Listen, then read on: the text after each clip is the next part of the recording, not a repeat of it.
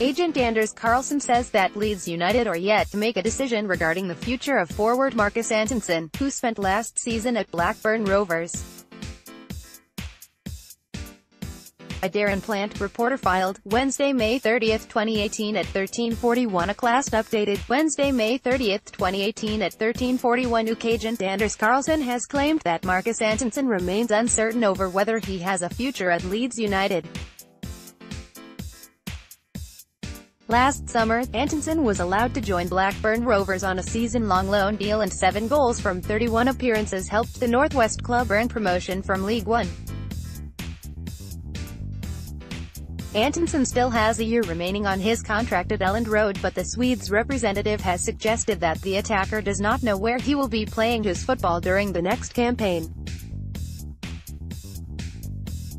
Karlsson told Football Direct, interest is great in Marcus, but today we do not know what Leeds want and he has a year left on his contract.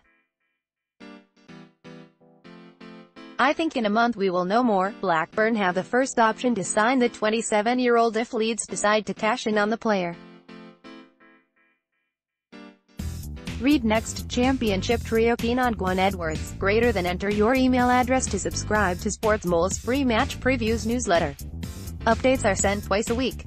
Follow at SMOLeads to get every Leeds headline from Sportsmole, and follow at Sportsmole for the latest breaking news stories. Select and display your favorite team's news and scores in this panel.